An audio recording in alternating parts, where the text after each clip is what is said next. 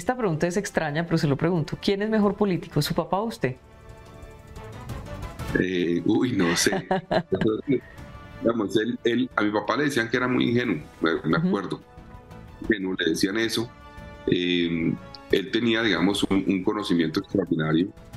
Eh, yo, creo que él evidentemente habría sido, pues, tal vez el mejor presidente para el país. Yo, sí creo eso. Entonces, eh, ahora, él, él se le dificultaba un poco siempre tener diálogo con ciertos actores, eh, le costaba un poco de trabajo, yo recuerdo eso.